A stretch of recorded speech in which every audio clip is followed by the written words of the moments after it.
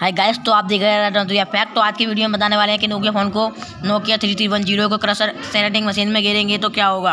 जानिए क्या होगा? तो वीडियो में बने रहिए चैनल को सब्सक्राइब कीजिए वीडियो को लाइक कीजिए। तो देखते हैं चैनल ये है द क्रशर वाली चैनल है। इसका प्लीज़ इसके इसके सारा वीडियो का क्रेडिट सारा इनको जाता है।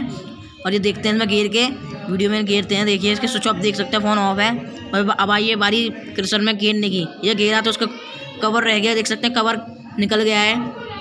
कवर निकल के अलग चटक रहा है और देखो, अब दोबारा से दिखा रहे हैं, ऐसा चटका रहा स्लो मोशन में देख सकते हैं यहाँ पे। एंड अब ये पूरा फ़ोन गेर के दिखाएँगे आपको। ये तो नोकिया फ़ोन बहुत ताकत है Nokia phone is the winner अभी दिखाएँगे आपको गेर के। ये देखिए नोकिया फ़ोन को गेरा इनने। चमचे से पकड़ के तो नोकिया फ़ोन नहीं जा रहा है तो नोकिया फ़ोन इज़ पावर